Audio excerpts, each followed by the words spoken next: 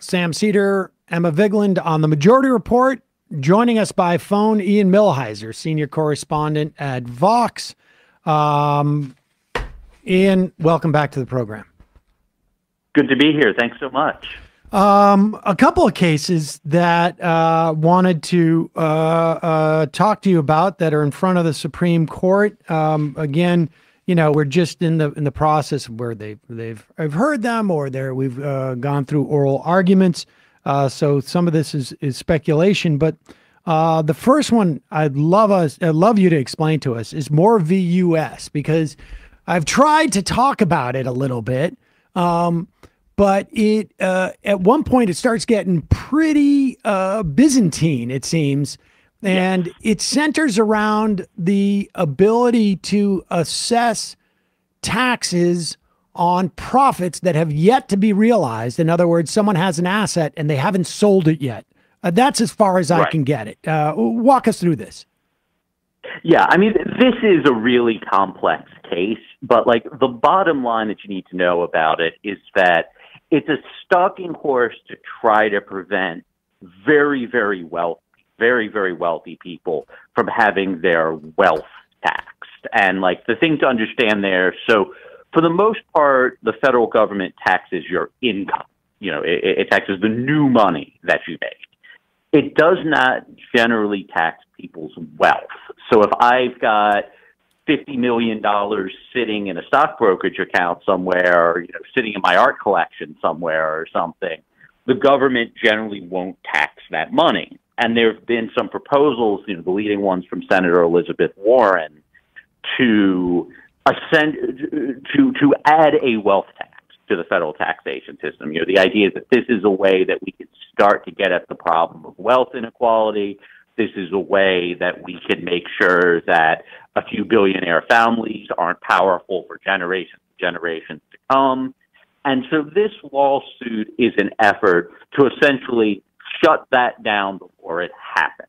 And, um, and, let me just say pro- say this as by way of explanation. If I've got uh, fifty million dollars, let's say I, I, I keep it in a CD because I'm very conservative mm-hmm. in that respect, but I'm getting five percent interest. The the money that that I make on interest there, uh, the two point five million dollars, that gets taxed. Um, That's correct. And or if I have fifty million dollars worth of stock which I bought for 30 million and I sell that 50 million dollars, the 20 million dollars gets taxed. Um, uh, if I sell it, but uh, if, if I haven't sold it, it's considered an unrealized gain because I haven't actually sold it yet. That's correct. Yeah. So the way the system works now is that people are generally taxed on their profits and not on the wealth itself. And so you know, and, and then the other important point that you brought up is that the taxation typically doesn't happen until you sell your investment. So, you know, if, if you know, I don't have fifty million dollars, but let's say I have a thousand dollars and I put a thousand dollars in the stock market and then I sell it a year later for two thousand dollars. I am taxed on the one thousand dollars in profit that I make. And that rule that you're generally not taxed until it's called realization. You're generally not taxed until you, you sell or otherwise dispose of the asset is normally a pretty good rule. It's normally a pretty good rule because it's often difficult to tell how much an asset is worth until it is sold. So you don't want a situation where like, you know, someone has an asset, no one knows how much it's worth, and so no one knows how much money this person owes the government in taxes. But there are exceptions. There are actually lots of exceptions where people can be taxed on what's called unrealized income. They can be taxed on, you know, money assets that have gained value but that haven't, um, you know, but that haven't been sold yet. And the question in this case is whether to cut that all off and basically protect people who have huge stockpiles of wealth from being taxed on the wealth itself and not on just the income that they earn. Now, just to be clear, we're talking about the federal government's ability here, right? Because I think right. a lot of people are very familiar that um, houses and property are taxed by your local governments. And, you know, I, I can maybe look on Zillow and get an idea of how much my house is worth. but I don't really know. And I may have bought the house for $250,000 and now it's worth three and a quarter uh, or something to that effect. I mean, that's so we do as a society, both on a, on a local level at least, uh, taxed unrealized gains, right? Because if your house goes up in value, even if you haven't seen that value realized, you get taxed on it. It gets reassessed. So is this this is a federal question? That, that's exactly right. Yeah. So your local government, you will often have property taxes. You know, typically state and local governments have entire infrastructures in place so they can assess the value of people's homes, so they know what the property taxes are. The federal government historically has not had property taxes. And one reason for this is that there's this bizarre provision of the Constitution that is at the heart of this Moore case. It says that direct taxes must be apportioned. And what that means is like if, say, Maryland has 8% of the national population, then 8% of the taxes collected, of the direct taxes collected, must come from Maryland. And by the, by it, the federal government. Know, by the federal government, that's correct. And that makes it next to impossible to have any kind of income tax or wealth tax, or really any kind of tax, because wealth and income is not distributed evenly amongst you know the population of all 50 states. The problem with this direct tax clause, though, is literally no one knows what a direct tax is. The framers didn't know. They wrote it into the Constitution as part of a compromise over slavery, and they didn't actually all agree on what this word means. If you read the Supreme Court's decisions, the Supreme Court's decisions make it clear that they don't really know what it means, and when they tried to say what it means, they just made something up.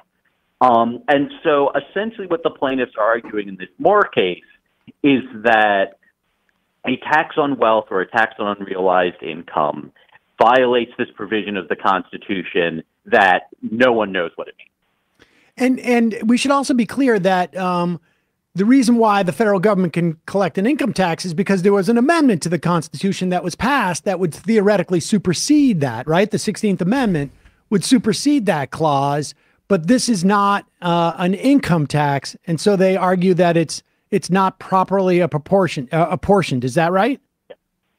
So technically, it's a little more complicated than that. So the reason we can have an income tax, you know, from like the founding until 1895, it was generally understood that we could have income taxes. And then in 1895, in a case called Pollock, the Supreme Court said that no, you cannot have taxes on the income generated from investments. You you can't have an income you can't have an income tax on on income generated from wages because of course the Supreme Court back then was controlled by robber barons. But you know in 1895 they said you cannot have a tax on income from investments. And the you know pretty much everyone thought that decision was wrong. The 16th Amendment was enacted in order to overrule that 1895 decision. And so the way to think of the 16th Amendment isn't that, you know, we couldn't have income taxes and then there was this amendment and now we can. You know, technically the way to think about it is we could do it. Then the Supreme Court said no, and then we enacted an amendment to get rid of the mistake that the Supreme Court made in the Pollock case. All right, uh, uh, fair enough. And and the the in this particular case, we're talking about um, monies or wealth, if you will, or value that's being taxed that is overseas. How could that apply to a portion to the states if they're if it's money from overseas? Right. Yeah. So I mean, if the Supreme Court were to determine that this is a direct tax, then that would be, you know, then the plaintiffs would, then like the taxes have to be struck down because it's basically impossible to do a direct tax unless you just have like what is called a head tax, where you say like everyone has to pay $75 no matter who they are, or something like that. That's the only way you can really do it in a way that's apportioned. Um, but anyways, like the issue in this, the specific issue in this case deals with a tax that was part of the 2017 Trump tax bill. And what the what the Trump tax law did is that it used to be that we tried to tax U.S. corporations who have money that is held in an offshore subsidiary. So, like, they create a, a foreign company, they park their money in the foreign com- company, and we used to try to tax that money. And you know, the sympathetic um, description of what they were trying to do with the Trump tax law is that Congress decided it was too hard to tax that money. So, so we gave up on trying to tax foreign money that is held by U.S. corporations. And then we said, well, wait a second, like that's going to be really expensive to give up that taxing forever. So the law puts in place this one time offset, which says that if you are a U.S. investor in a foreign company, then you have to pay one time tax on the some of the profits that that company has earned. Um, all of this is very complicated, but like the reason why the specific tax here matters is because it's taxing people on on stock that is gained value but that has not necessarily been sold, unrealized income. And the question is whether it is unconstitutional to do that. And again, if it is unconstitutional to do that, that means that it's not just that this tax gets struck down. This tax is supposed to raise $340 billion, so it's not a small amount of money in place. It means that we can't have wealth taxes. It means that a whole bunch of other existing taxes. So if you, if you are a member of a partnership, if the partnership makes money, the individuals are, part, are, are taxed on it regardless of whether they receive that money or not. That would be unconstitutional. There's entities called S corps and F corps that are taxed in a similar way. You know, there's a long history of taxing foreign investments where like people can be taxed before they sell the asset. And if you if the Supreme Court strikes all of that down, we're potentially talking about trillions of dollars of money that just evaporates. All of a sudden the federal government needs to figure out how to keep the lights on without hundreds of billions or potentially trillions of dollars in income that it was planning on. So it would be a really, really big deal if the Supreme Court were to strike down all these taxes. You know, the, the good news is based on the oral argument um, yesterday, there didn't seem to be much of an appetite for that. And and did was there ever a? I mean, uh, the the irony about all of this, I should just say, and that doesn't necessarily have any bearing on the case, is that the reason why we have this problem where uh, corporations would hide their their money offshore and uh, you know we would beg them to repatriate it. We did it in 2004, and Bush gave them like a big discount on those on that taxation, ostensibly under the uh, the the bill called I think it was the American Jobs Act, if I remember correctly, which ended up. Um, not creating any jobs. In fact, like one of the biggest right. um, sort of promoters of it, I think at that time was like Hewlett Packard, and they they cut like fourteen thousand jobs after uh, their their off their their money was repatriated. And then what happens is these corporations hold it offshore until the next Republican who's going to come by and give them the same tax break. But this, the idea that you could keep the money there and not have it taxed before it was repatriated was in and of itself a tax break that Eisenhower, uh, uh, that happened under the Eisenhower administration as a way of building up Europe and and and Japan and, and Japan after World War II. Right. Yeah. I mean, if, if Congress wanted to, at least under existing law, if Congress wanted to, it can tax U.S. companies on all of their income. So you know, in, in, including the income that they, you know, you know, potentially that that that that, that, that ah, let me try speaking again, including the income that they make overseas. Now, that said, I mean, we, we've chosen not to do that. There has been, you know, you know, a series of forgivenesses until, you know, this finally in 2017, Congress just said we're going to give up on taxing this money. All of that, though, is is you know sort of tangential to this case. Like right. the issue in this case is does Congress, does our elected representatives, and you know, I don't like what they did in 2017, but like, you know, does our, you know, should the people who are elected to set our tax policy get to decide that, or should it be decided by nine lawyers in black robes? And, you, you know, I mean, there really isn't a principled way to distinguish the tax in this Moore case from all these other taxes that exist you know, there there are. I mean, like Justice Alito was ranting against it because Justice Alito wants the Republicans to win every case, and he wants Republican policies to be implemented. But if Justice Alito wants Republican policies to be implemented, and this is actually a Republican bill, it's just this offset. Um, you know, he could run for Congress and he can have the proper branch decide what what our Congress is. Instead, this case is an attempt to shunt these important questions, you know, who is taxed, how much are they taxed, to the one branch of government that is not elected and that currently has a Republican supermajority. Um, let's also. I just want to hear this clip from uh, Sonia Sotomayor, uh, and and and you tell us just sort of like uh, uh how it, um uh, what she's referring to specifically, in terms of like um, they're being asked, according to Sotomayor, to essentially um, uh, announce what a, a put a definition of realization of profits, yeah. create one that is sort of like a one size fits all. And here's uh, what she said. If what we do is to think about a particular tax, which, which seems to be what we've been doing for over 100 years, to see whether that tax is, um, is income as understood by attribution or as an excise tax or by other principles, um, we wouldn't have to give, uh, we would consider each tax on its own form. You're asking us to just announce what realization is out of context. And for the last hundred years, we've been studiously avoiding doing that because we recognize that it's dangerous to do that.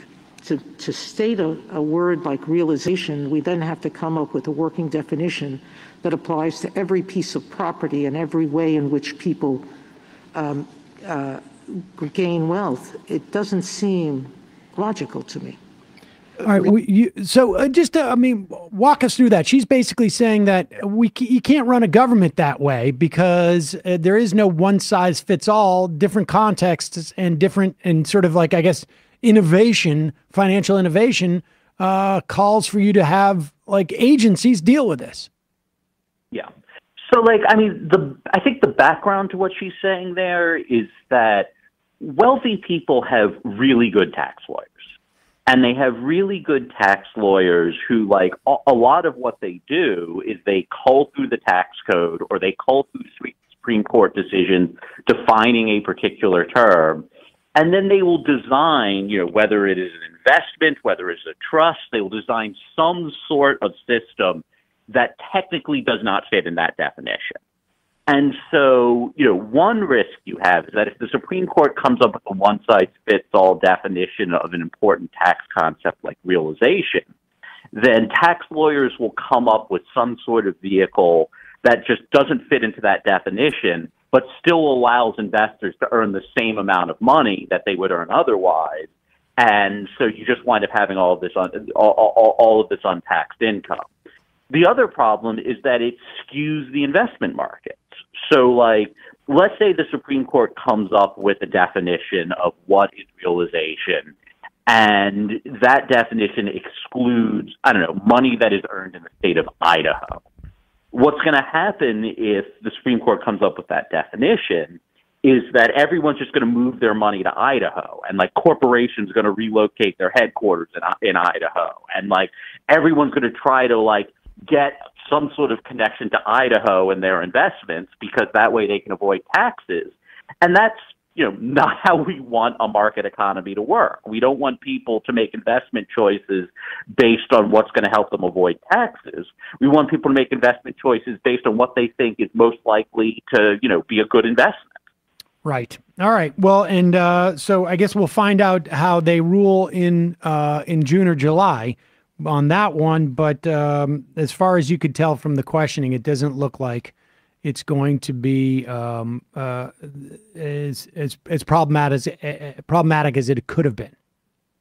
I, I think that's right. I, I mean, they, they might write a very narrow opinion that sort of leaves open the question of what happened if Elizabeth what happens if Elizabeth Warren gets the majority she needs to pass her wealth tax. Right. But I think yeah, but I think they realize that like regardless of what they think about some hypothetical future tax that probably will never get passed anyway, they shouldn't hand down a decision that nukes so much of the current tax code that the federal government can't keep the lights on anymore.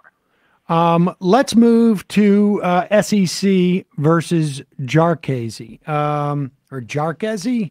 Um, I think it's I think it's Jar- Jarkesy. Jarkesy. Um, yeah. This is a case which, and you know, I don't know for how many years that we've been having you on and we've been talking about uh, things like uh, uh the non-delegation doctrine or uh, the Chevron uh, doctrine, um, and now the the so-called major questions doctrine, which right. I think you and I have actually been. I've been interviewing you longer than that has existed in practice. Um, but it is a one that is like sort of uh, completely uh, uh, turning over the apple cart in terms of like uh, American jurisprudence, as far as I can tell. But this concept that essentially uh, would both and or inhibit Congress from um, from delegating authority to agencies where they have expertise, and also the deference that courts have to these agencies when agencies are making, you know, questions of of of of executing and developing regulations to carry out uh, congressional will. Um, this is a case that could have touched upon that as well. Yes. So, okay. So, what this case involves, well, first of all, the SEC is the federal agency that protects investors from fraud by from the companies they're investing in. It has existed since the Roosevelt administration, and the relevant laws governing the SEC haven't been changed in more than a dozen years.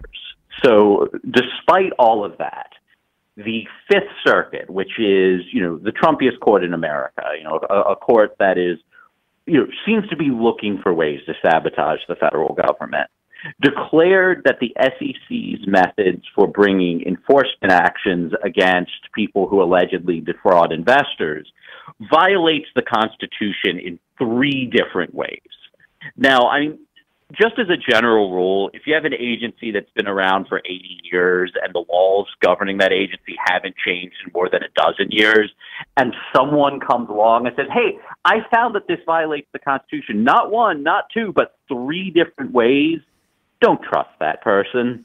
Like, you know, if, if there's a lot of litigation in the United States, if something is unconstitutional, it only gets noticed fairly quickly. And if it doesn't get noticed fairly quickly, we certainly don't miss three different, you know, some of them very novel constitutional problems. So, like, and particularly when it comes to something like finance, right? I mean, that's uh, right. half their job is suing the uh, U.S. government in terms of like uh, trying to uh, release themselves from regulation.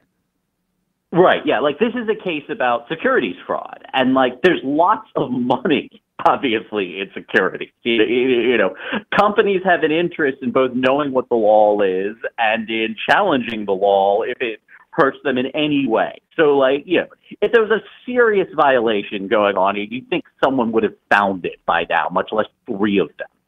Um, but anyway, so here, here's what the issue is that at least the Supreme Court cared about. And, and the good news is that the Supreme Court looks likely to shrink this case, although they still look likely use it in order to diminish, you know, some of the federal government's ability to govern. So the SEC has these officials that are called administrative law judges. And what administrative law judges are is they are judges who are experts in securities fraud.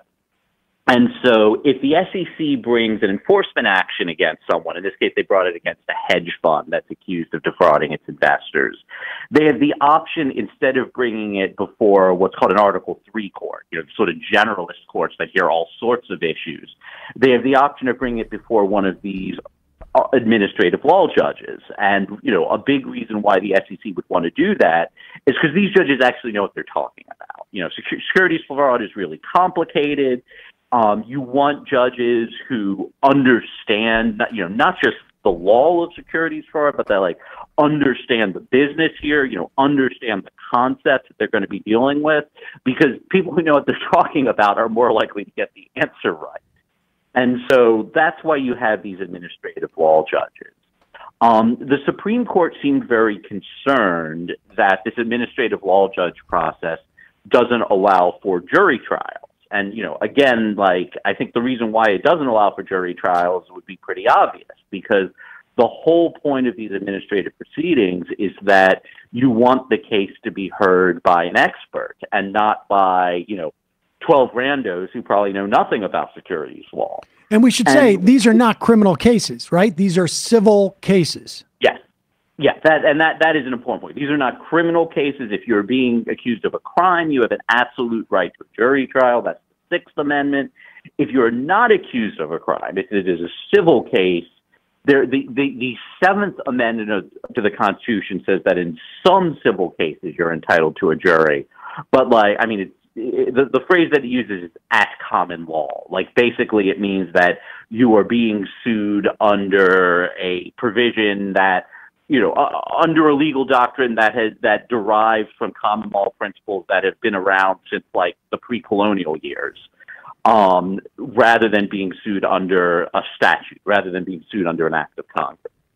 Um, but in any event, you know, the Supreme Court, based on at least what I heard in the oral argument, probably isn't going to accept any of the more baroque, like let's destroy the whole federal government's ability to operate theories that the Fifth Circuit latched onto but I think it is likely to say that these sort of expert forums that exist probably cannot continue to exist, at least not in their current form.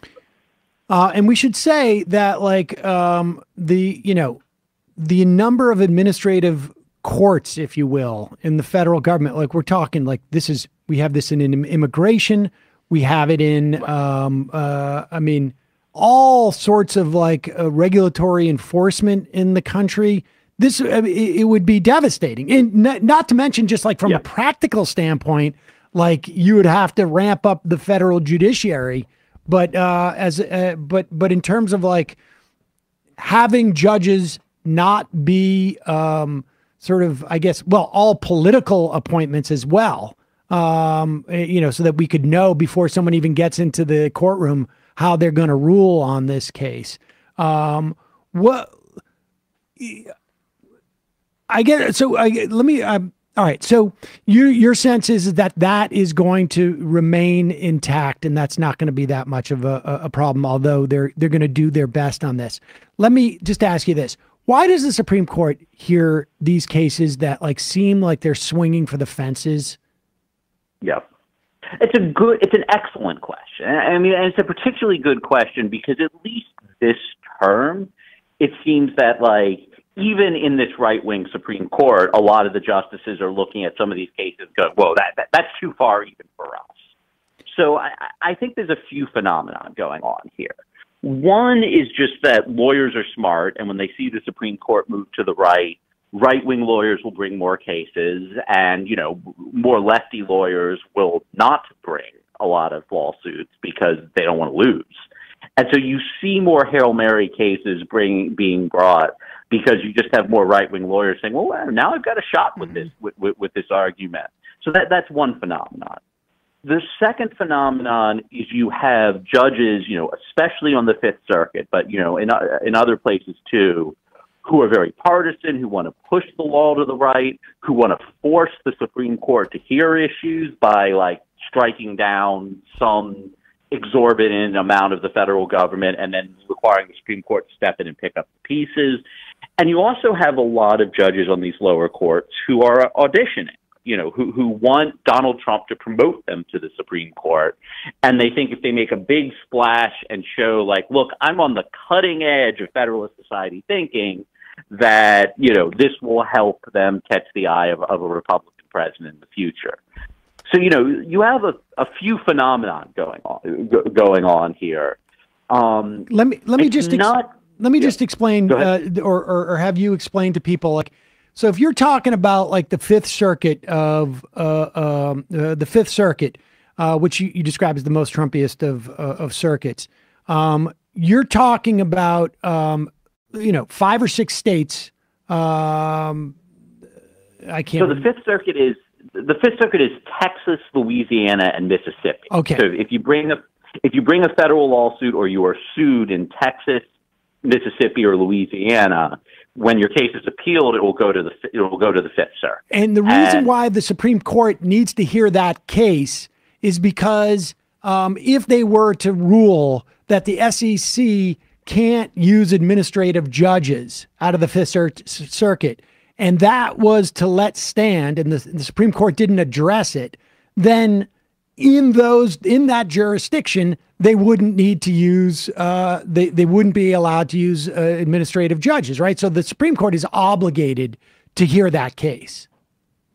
Pretty much, yeah. I mean, they're not literally obligated in the sense that, like, you know, nothing's going to happen to them if, right. if they don't hear the case.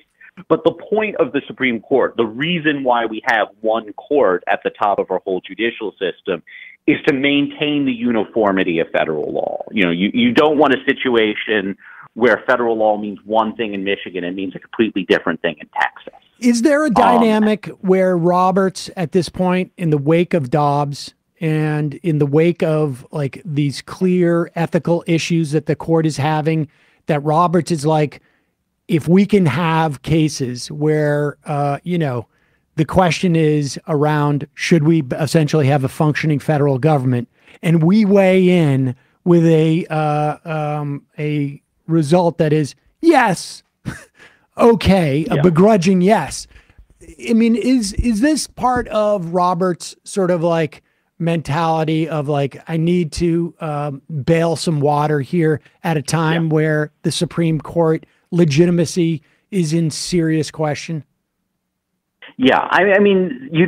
I mean, my short answer to that is you'd have to ask John Roberts that. Right. But like, just as you know, from what I can tell from the outside looking in, like the Supreme Court, like actually, well, this group of Republican justices, the six Republican justices who sit on the Supreme Court right now, came in with a pretty clear agenda. They had like a list of boxes they want to check. You know, we're going to get rid of Roe v. Wade. We're going to get rid of affirm- affirmative action. We're going to give ourselves a veto power over any decision made by a federal federal agency. We're going to give religious conservatives, and specifically Christian conservatives, broad exemptions from following federal and state laws. Like, you know, they, they had an agenda. And you know, I even wrote a book about that agenda called yep. The Agenda. And as it turns out, they have now like fulfilled that agenda. Like they have checked all their boxes on the list. And so one possibility is that they're, you know, Roberts and maybe Kavanaugh are looking back and saying, man, like everyone hates us right now. We should probably hand hand the liberals some victories so like we don't look like a bunch of partisan hacks. You know, the other more optimistic possibility is what's going on here is like they've come in with their list with their checklist of things that they're going to accomplish.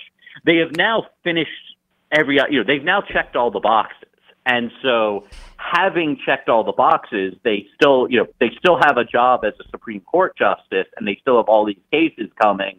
And in the absence of the agenda, the optimistic take is maybe they're going to be real judges now. You know, you know, maybe maybe like now that they've done all the things that like you know mm-hmm. they were mm-hmm. picked to do, that, you know, maybe they're going to try to be real judges now. I, I think we need more information before we know which one of those is the case. But it does seem to be that in this term they are trying to rein in the most you know the most absurd elements of the judiciary after spending the previous two terms checking off a bunch of boxes on an agenda list. Um, and I guess I guess we will have to have you back in uh, in I don't know at what point we'll have a better sense of that. But in the meantime, uh, Ian, if you you'll indulge me with like uh, two more uh, quick cases, uh, two different uh, oh, sure. cases. One is uh, there is a case in front of the Supreme Court now where the Sackler family um, facing essentially bankruptcy for their family, and and I mean that in a in a colloquial sense, um, essentially took Purdue Pharmacy into bankruptcy and sort of rolled their liability as individuals into that bankruptcy case as a way of protecting themselves, their their personal money from creditors too. Um, and uh, I, I, wonder your perspective on this. The Supreme Court is looking at this.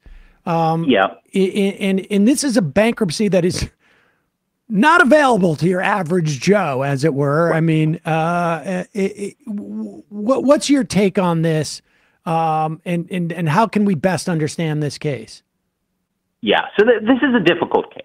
Um, and, and, and so as I understand the issue here, um, so as part of the bankruptcy proceedings arising out of the opioid crisis, um, Purdue Pharmacy agreed. You know, uh, the deal was was reached that they would pay, I think it's six billion dollars to help provide relief to victims of the opioid crisis.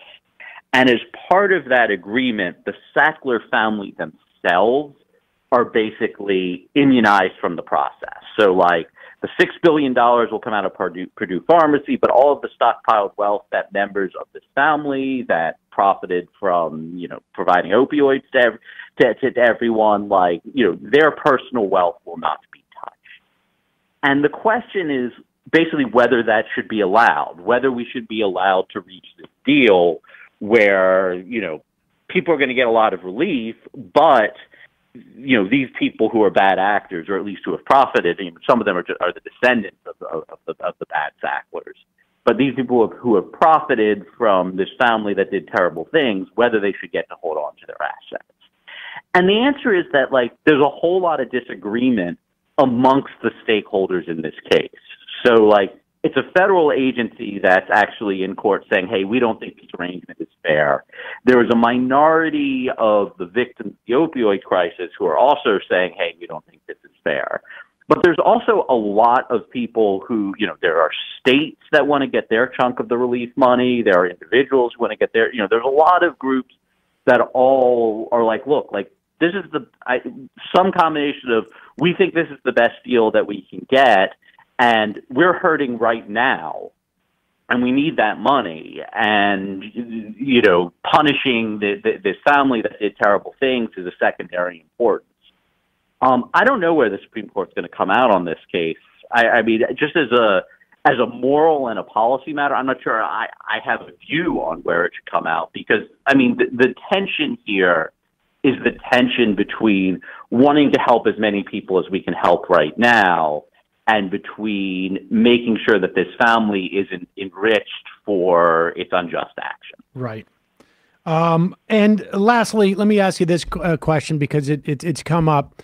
Uh, there is 36 states that have uh, this legislation that says um, if you support BDS, you uh, can't get a state contract. Uh, the most famous right. is that uh, case out of Texas uh, where a speech therapist uh, was uh, fired, uh, you know, working with the school district uh, because they had supported BDS in some fashion or had a website or something to that effect. Um, that case was came up to the Supreme Court, I think, in like um, at the beginning of this year, and was rejected. What what's your sense of like how does something like that get resolved? It seems so blatantly against the First Amendment. We hear a lot of people complain about lack of free speech because you know somebody got booed and chased off of a college campus. Um, but right. this is a these are literally the government saying this is one type of protest we're going to punish you for. Yeah. So, I mean, I haven't followed this case very closely, but, but I, I can give you some general First Amendment principles. Great. So, it, it does sound sketchy. I mean, the, you know, the, the argument that these states can make is, as a general rule, the government does have a lot of power over how it wants to spend its own money. And so, if the government, like you know, doesn't want to hire a particular, you know, you know, the federal government, especially in democratic administrations, uses this power all the time to say, like, you know, if you want to get a contract with the federal government, you need to prevail. You need to pay up the prevailing wage. If you want a contract with the federal government, you cannot discriminate against you know the following individuals. And you know, and we don't want the government to lose the power to say if you want to work with us, here are the things that you need to do, because often that leads to a lot of you know a lot of very good worker friendly things happening. But all that but, is all that, from my understanding, has been tested in court as to whether it's a compulsion of speech, right? Like right, the idea right. that and that like like the right wing has always tried to say like you can't tell us that our employees have to wash their hands. You're you're compelling our our speech in right. some way, like that, and that those have those have failed. So this is a it, it's it's one thing to say we want the government to be able to uh, impose certain requirements on contractors it's another to say we want to inhibit their speech in a like right. pretty explicit way. I mean, this isn't like we're forcing you to or keeping you from saying you don't have to wash your hands when you go out and serve people food. Um, right. This is pretty explicit. Yeah, so I, I think the way that I would analyze, and, and again, I haven't read the briefs in this case, so like there might be other case law I'm not aware of, but I think that I would analyze these using the rationale that the court has often used for government employees. So, like the rule, if you are a government employee, is essentially the government can control what you say within the scope of your employment. So, like if I am a math teacher employed by the state of Texas I can't walk into class every day and decide I'm not going to teach math. I'm going to teach, you know, 16th century Japanese art history. Right. There's nothing there's nothing wrong with 16th century Japanese art history, but like once but like I'm not that's not what I was hired to do. I was hired to teach math and the state can control my speech in that context. But when I am speaking about a matter of public concern, when I'm off the clock, and especially if I'm conveying information that like I might have special access to that there's a matter of public concern because I am, you know, because I'm inside the system, like that is normally First Amendment protected speech. And so, you know, if Texas is hiring someone because Texas wants to convey a position on, you know, the Israel Palestine conflict, I think it could tell, like, if it hires a PR consultant to convey Texas's position that it is pro-Israel and anti-Palestine, I think that Texas could demand that that PR consultant say the thing that it, that the PR consultant is being hired to do. But if Texas is hiring someone to, you know, I don't know, provide school lunches, um, you know, your position on Israel and Palestine is irrelevant to whether or not you can provide school lunches. That person isn't being hired to have a to have a viewpoint on Israel. That person is being hired to provide hamburgers. And so I would think that in the case of the person who is not being hired for something that is any way relevant to Israel and Palestine, they're allowed to, on their own time, say what they want to say about Israel and Palestine. But again, I, would have to review the briefs in this case to like to give specifics about how I think it should come down. Well, uh, Ian Millhiser, I can't thank you enough for uh, walking us uh, through these things. Um, you um, you made it possible for me not to have to finish law school uh, years and years ago. And uh, I, I, will. I, I, I, the level of indebtedness I feel to you for that I cannot uh, express in words. Um, Ian Millhiser, senior correspondent at Vox, really appreciate your time today.